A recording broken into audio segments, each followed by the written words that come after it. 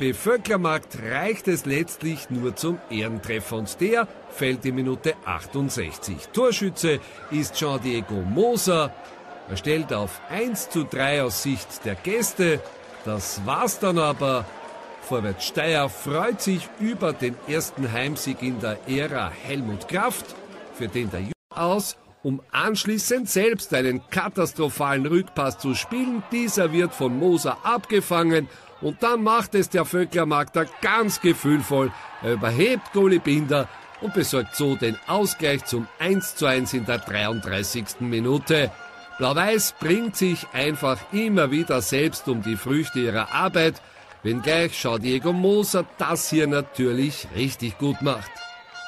Blau-Weiß bekommt noch... Hierher ein gebrauchter Abend für das Team von Thomas Hofer. Mittlerweile ist fast eine halbe Stunde gespielt, aber jetzt wird auch in der Hälfte der Klagenfurter gekickt. Stefan Sammer auf Jean Diego Moser, der Anschlusstreffer. Ein schöner obendrein. Moser kam im Winter aus Brasilien, um in Vöcklermark Tore zu schießen. Und dass er das kann, das zeigt er hier. Das 1 zu 2 aus Sicht des Klagenfurter Torwarts. Und der, nämlich Filip Dimitrovic, bekommt gleich wieder was zu tun. Denn die Grün-Gelben machen plötzlich Druck. Markus Lexel auf Stefan Sammer. Und was der Moser kann, kann der Sammer schon lange. Die UVB ist endgültig zurück. 2 zu 2, 34. Spielminute.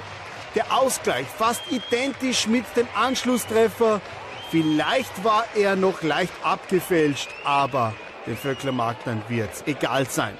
Jetzt nur nicht wieder einen hinten einfangen, aber der SK Austria Klagenfurt kann nicht mehr so nachsetzen wie zuvor. Stefan Sammer im Zusammenspiel mit Jean-Diego Moser. Noch einmal Sammer, noch einmal Moser und Ibrahimovic 4 zu 3. Die UVB hat das Spiel endgültig gedreht mit Kampfgeist und einer großen Portion Willen. So möchten das die Fans auch sehen. Edin Ibrahimovic weiter zu Michael Sammer und Jean-Diego Moser mit dem 2 zu 0. Wieder sehr schön herausgespielt von den Grün-Gelben und Moser mit seinem sechsten Tor im achten Pflichtspiel. Diese Quote kann sich durchaus sehen lassen. Spiel. Die Vöcklermarkter liegen zwar zurück, sind aber noch lange nicht im Osterurlaub. Das ist Jean-Diego Moser und das ist das 1 zu 4. Der Brasilianer im Dress der UVB mit dem Anschlusstreffer. Sein viertes Tor für die Grün-Gelben. Die Partie ist aber noch lange nicht zu Ende. Wieder ist es Moser und auch er darf über einen Doppelpack jubeln. Nur mehr 2 zu 4. Wenn jetzt die UVB doch noch zurückkommt. Eines muss man den Vöcklermarktern zugute halten. Nun geht es wieder in die andere Richtung. Jean-Diego Moser. Und der wird hier von Salentini gefault. Und zu Recht zeigt Andreas Zangerle auf den Punkt. Moser, der ist sofort zum Ball gestürmt und tritt selbst an. Bislang sehr bemüht, aber noch zu ungefährlich. Und Jean-Diego Moser mit seinem ersten Treffer im ersten Spiel.